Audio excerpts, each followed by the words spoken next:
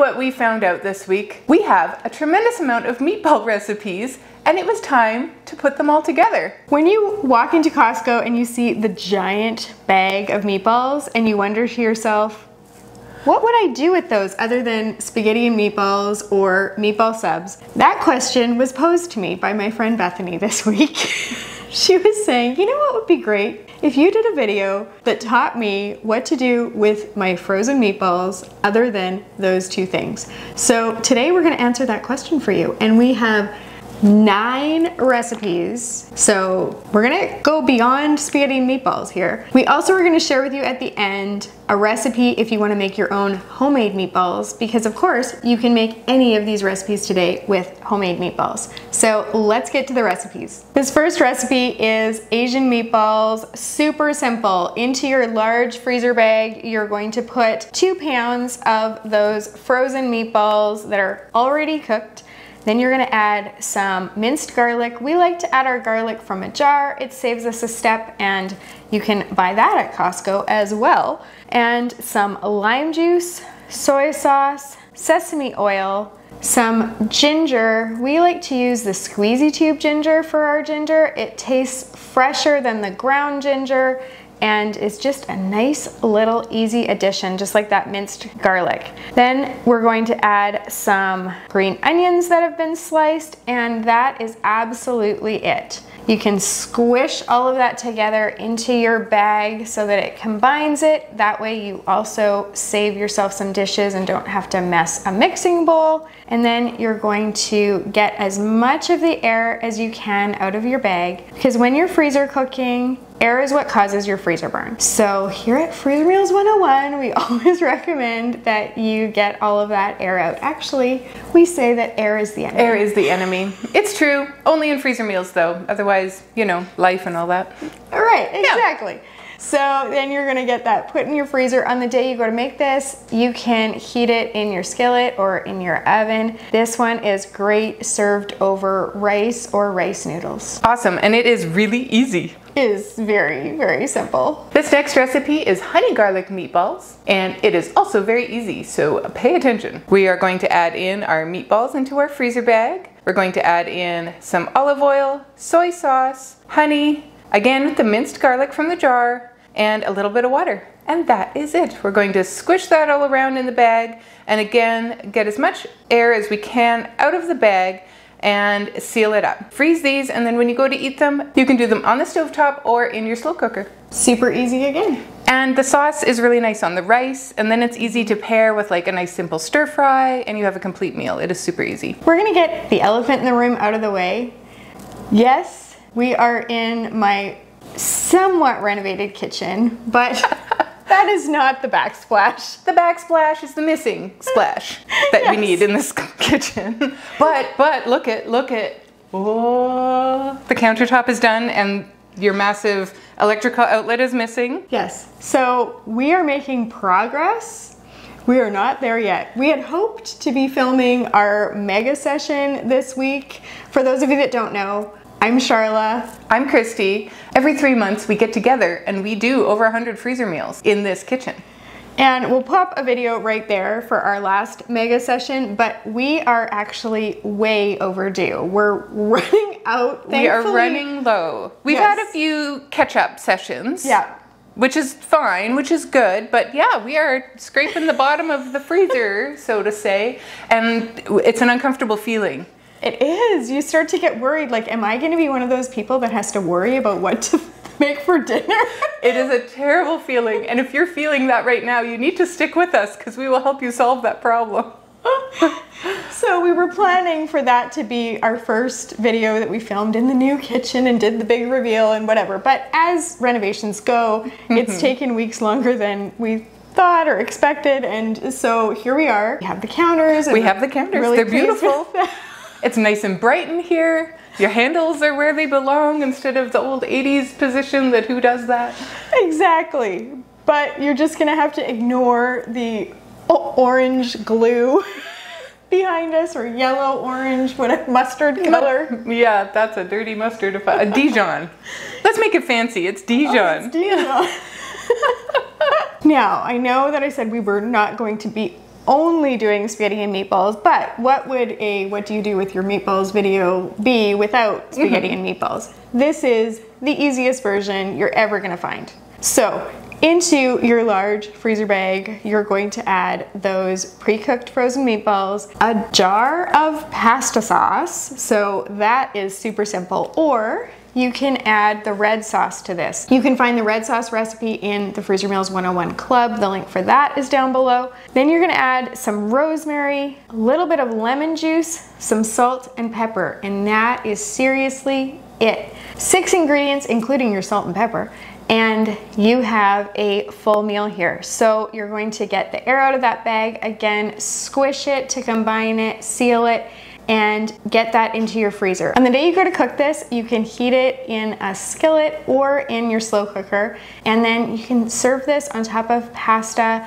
generally, of course, spaghetti for spaghetti and meatballs, or you could turn this into meatball subs, but we are going to have an amazing, very, very perfect meatball sub recipe coming up later, so I would save the meatball subs for that one. The other thing you can do with this is you can create a pasta bake with it. So you can cook up some noodles, maybe a penne or a rotini, drain them, and then you would put the noodles and this meatball sauce mixture into a large casserole dish, then cover it with some mozzarella cheese, bake it in the oven until it's like bubbly delicious mm-hmm. and that would be a really good way to serve this one. That sounds really good. Yes, it does. This next recipe is super easy again. And this is a little bit different because this is an appetizer. These are cocktail meatballs. We're going to start out with our meatballs in our bag. We're going to add in a can of jellied cranberry sauce, some chili sauce, brown sugar, and lemon juice. Five ingredients or less, and you have the beginning of a party. this one is easy to do. It is e easy, easy, easy. It is the word of the day because these are pre-cooked meatballs for the most part. Again, you could do these with homemade meatballs, absolutely. Throw them in your slow cooker a couple of hours before your party starts, and then just keep them warm throughout the evening, and they're gonna be perfect to serve with toothpicks. Mm -hmm. Mm -hmm. They are a kid favorite around this house. Definitely. Around these parts. Around these parts, yes. The thing that I like about having meatballs at a gathering is you've got them over in your slow cooker, you're not even thinking about them, but they're hearty. So mm-hmm. people can, you know, have a little bit more of a meal instead of just all your little finger food appetizers, which I also have. She does. I learned very early on to not ever eat before coming to your house for just about anything ever. But if you do have a bigger appetite when you get here and you think the little fingery foods aren't going to do it for you, it is nice to have those meatballs. It is. Absolutely, it is. And especially if there's kids at your party. Mm-hmm. Mm-hmm. Now, if you wanted to do all of these meatball ideas all at once because there's nine different recipes here, you would need more than one of those Costco meatball bags. But probably only two though. Right, they are giant bags. They are big bags. If you decided that you wanted to do this, there is a lot of variety here, and mm-hmm. we'd suggest that you maybe go and watch one of our chicken videos. We'll stick one of those right there so that you get a little bit of variety in your freezer. Maybe spend an afternoon making these meatball videos and then spend an afternoon doing some chicken meals and then you might have like a, a little more balance or a month worth of meals. Absolutely. But, and yes, more balance. A little bit more balance in your freezer. But these, because they're using the pre-cooked meatballs, they really would come together in you could do all nine recipes in I'm sure an hour, an hour. Oh yeah, easily in the afternoon, including your prep. Mm-hmm. For sure. So this next recipe is those meatball subs that I was telling you about. These are so good. Mm-hmm. These are like your family will come running kind of good. Although you're they're your favorite. I love these. I absolutely love these. My family is only so so. Okay, listen. I used to work at Subway when I was in college. I was a sandwich artist and I learned how good a meatball it wasn't something we ate growing up. So a meatball sub is good. It is stick to your ribs. It is warm. It is homey. We do kick it up a notch. Yes we do. But i still make a change. Mm. because this one calls we make it with baguettes because then it's a little fancier and it's it brings it up and it doesn't get as soggy. We'll explain. But i sometimes find baguettes hurt my mouth I have a I have a tender mouth. Is that a thing? I don't know. So I would happily make these on hoagie buns, like mm-hmm. or big sub buns, and be totally fine with it. It is a nice option to have to have the baguettes. So Charla, take it away. So into your large freezer bag, you're going to add those meatballs, of course, and then some Italian seasoning, minced garlic, again from a jar, pasta sauce. Now you can use jarred pasta sauce, or again, we usually use our red sauce recipe because it's just got such depth of flavor and is, is worth that extra effort. And that's all that's going in your large freezer bag. So you're going to get the air out of that, seal it up, and then in a quart size medium freezer bag, you're going to put a cup of shredded mozzarella cheese, and then you're going to take out two baguettes. Now at Costco, you can buy the baguettes in a two pack. So it's mm-hmm. kind of perfect for this recipe. And if you're going there anyway to get the meatballs, you might as well nab some of those. And then you're just going to cut each baguette into thirds. So you end up with six total subs.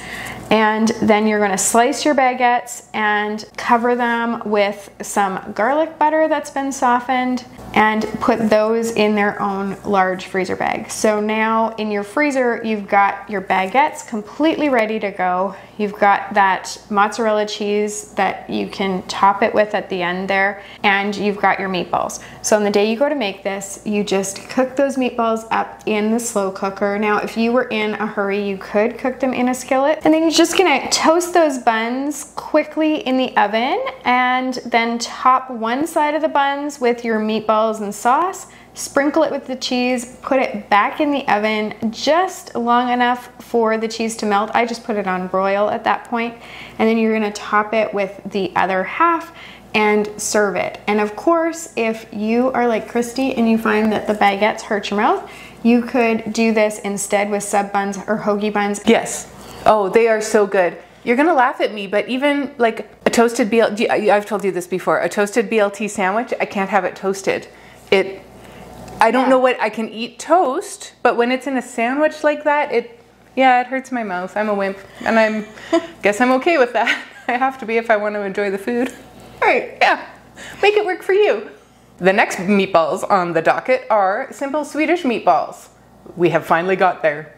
We're away from the Italian and we're into the, oh, we've done the Asian, we're out of the, we're not out totally out of the Italian. We're into the Swedish. We start out with our meatballs in our bag. We're going to add in a couple of cans of cream of mushroom soup, some sour cream, soy sauce, parsley, nutmeg, which is like my favorite ingredient to put in this. I love that there's nutmeg in there, and a little bit of pepper, and that is it. We're going to, again, mix it around in the bag because that is the easiest way to do this without dirtying another dish. We're going to remove that excess air, seal, and freeze. On the day of cooking, again, this is a great one to do in your oven or to do in your slow cooker. Now, when you are freezing meatballs, you may find it's hard to get the air out. We have said the air is the enemy when it comes to freezer meals. It is a little bit hard to get the air out. Do you know what some people suggest? Now, we don't do this because when we do so many at a time, we just don't have time. But if you have a sink full of water or a large bowl full of water, if you dip your freezer bag into it, that water will create pressure around the meatballs and squeeze the air out the top, and then you can seal it. So we get that recommendation all the time. We don't personally do it, partly because we're pretty good at getting the air out. We've, yeah. We've made over 5,000 freezer meals together.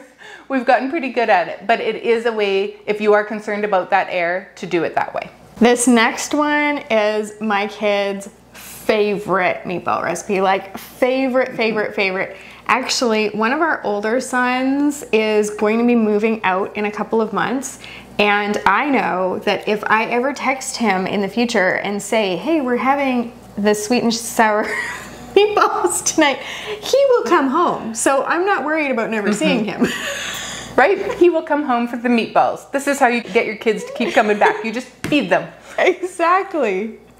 So, our sweet and sour sheet pan meatballs. The other thing that makes them amazing, other than the taste, is that it's a sheet pan meal. So, you're dirtying less dishes, it's super fast to cook up. This is just good all kinds of ways.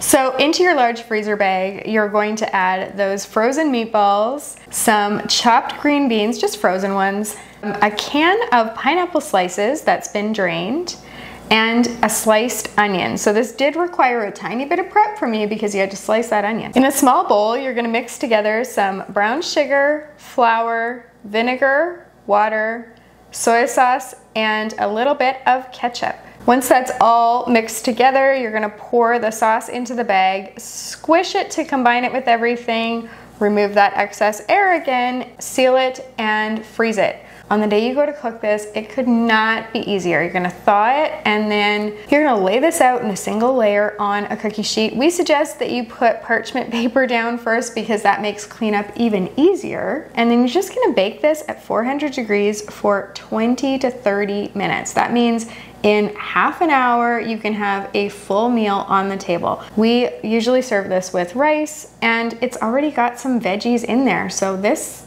is this is it. This is dinner. This is dinner, and it it is a hit. now, if you look at this recipe, you're gonna say, "Oh, that's so much sugar." You don't understand. We cut the sugar in half. And then we cut it down again. And then we cut it down again. So if you look at this and you still think it's a little bit sweet, go ahead and cut it down a little bit further if you feel like we feel like we've hit the right amount for our families mm. because it's a once in a while meal, right? We're not having this every I, single day, but your son would if you could. Yes, my kids would like it if we had it every day, but we don't. Yeah. And, you know, when we do our mega sessions, we make four of each meal. So my family ends up with two, Christy's family ends up with two. My kids, in those three months, they get this twice. Twice. and I think that's a good amount for the sugar. It is here. just the right amount, and it is a-okay to do that sometimes, and it's good. It's really good. It is really good. This next recipe is a bit of a weird one, but it is a really, really delicious one. It is meatball soup, and we start with our meatballs in the bag. We're going to add in our garlic. We are going to also add in some diced onion, some carrots that have been peeled and sliced, some diced zucchini, and a jar of pasta sauce. We will also add in some Italian seasoning and of course a bay leaf. For the day of cooking, we're going to add in three or four cups of water or beef broth if you want it to be a little bit richer. Then we will seal it up and freeze it. On the day of cooking, once you thaw this, you can put it into a pot on your stove top, and you want to add in three or four cups of water or maybe beef broth and you just bring it to a boil and then reduce and simmer for 20 minutes, maybe half an hour at the most. Or you can do it right in your slow cooker, a couple of hours on low and you have supper. This recipe is another party recipe, and it's called party meatballs.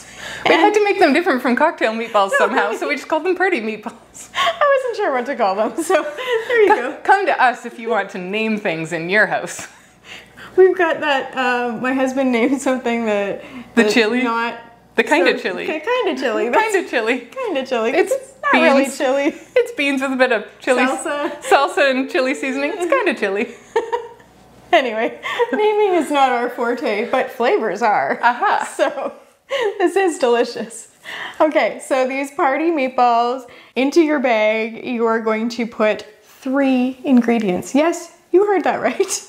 You're gonna put three ingredients and then you're gonna call it a party. Everyone's gonna ask you for the recipe before they go home and they're not gonna believe that this was three ingredients. Or you could tell them that it's a family secret Right. And then this could be the dish that you get asked to bring to every gathering. Mm-hmm. And instead of being called party meatballs, they could be called Lenore's meatballs. Right. Or Rhonda's meatballs. Right. Or Sarah's meatballs. They totally Whatever could be. your name is. To this day, my husband and I still talk about Dee's Delights, and he named them. Do you know what it is? It is. it's, a, it's a piece of white bread spread with uh, whipped cream cheese, rolled in bacon, twisted, and then baked until the bacon is crispy, and then she chops them up. That's all it is.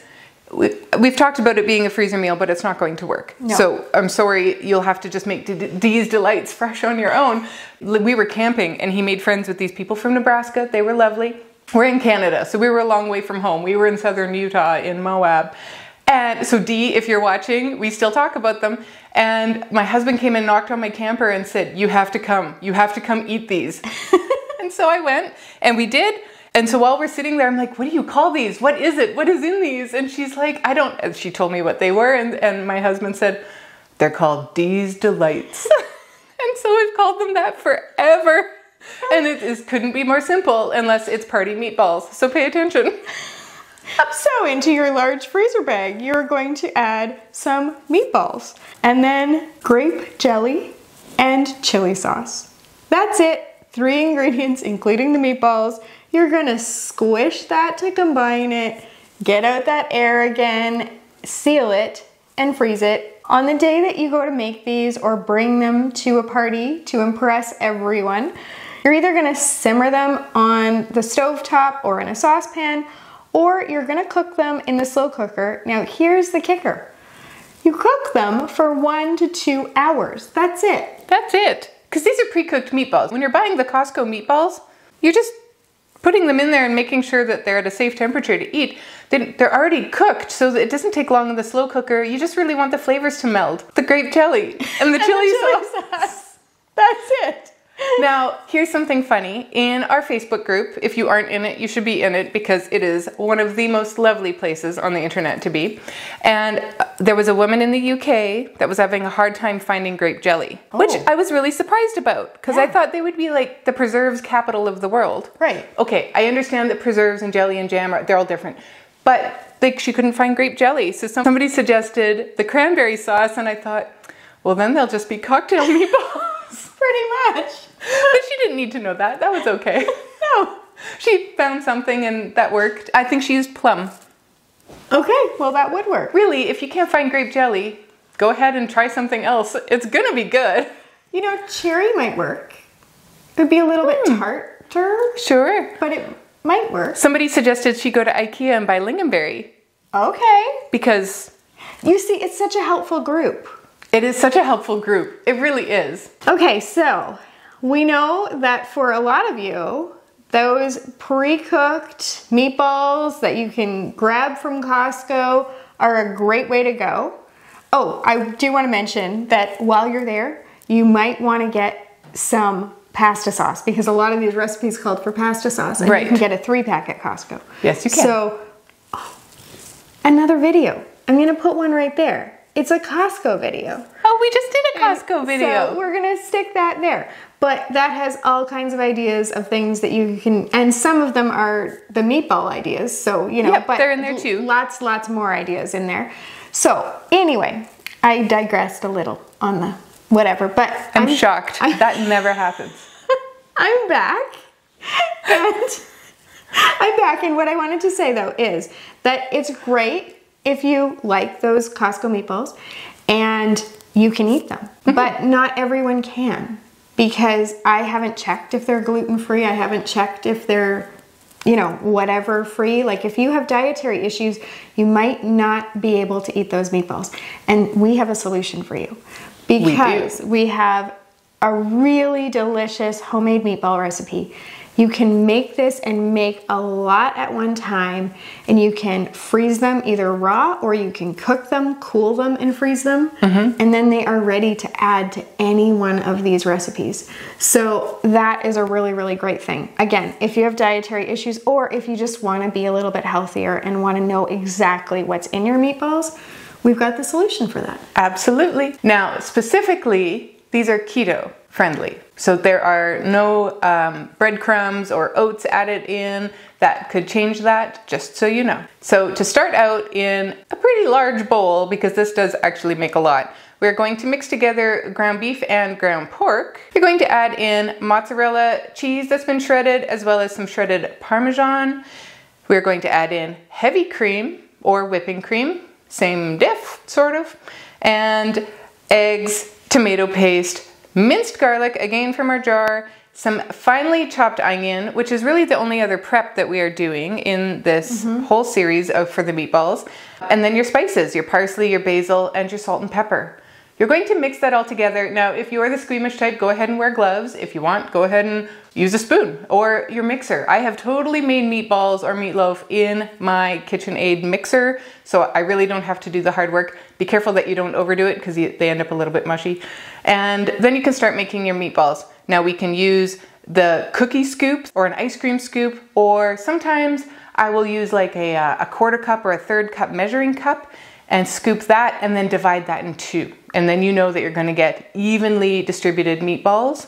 Get them onto your cookie sheet, and like Charla said, you can either freeze them like that and cook them individually. Now, this worked really well for you when your husband was doing keto mm-hmm. because then he could just take out however many he wanted to eat and make them individually. You can par cook them, you can totally cook them, and then just reheat them. Whatever you like to do, just do it in your oven. And if you really wanted to, you could, you know, roll them around in butter in your frying pan and get a crust on them before you cook them. It is entirely up to you. These are your homemade meatballs. One thing to note is if you do want to cook them first and then freeze them, you want to wait until they're fully cooled before you even add them to the bags. Mm-hmm. Otherwise, you're going to get some condensation in there, and that will cause you some issues like frost and freezer burn and those kind of things. So, you just want to wait until there's all kinds of reasons, but let's just simplify it and say that. And even fully cooked, it might not be a bad idea to freeze them individually first before you add them to the bag because if there's any moisture at all, they'll, they'll, stick together. They'll stick together. So go ahead and freeze them first. Get them into your freezer bag. Just bag. Lay them on a cookie sheet mm-hmm. flat. Mm-hmm. Freeze them like that, and then yeah. Yep, and they're perfect. And hey, listen, if you are not a member of our Freezer Meals 101 club, there is a link below, and I'd like you to check it out because these recipes are in the club. I mean, they're on the website too. Obviously, the links are below. But the beauty of the club is that you can make your own meal plan. You can have meatballs and chicken and beef if you would like. You can adjust the serving sizes and it will spit out an ingredients list for you, a prep list for you. You can make your own printable labels right out of the club. There's a ton of videos and tips and tricks and other PDFs of meal plans that are just there for the taking. And we just really encourage people to have a look at it because it is also a really great service and system to be able to use for your meal planning it takes the guesswork out, which is really the- it really takes the guesswork out. It really, really does, and our club members love it. So if you are a club member, shout it out down below. We would like to uh, talk that up a bit today. Thank you again for joining us. Happy cooking and happy meatballs. happy meatballs to you. Oh, oh, like wipe out and big balls to you. We're out.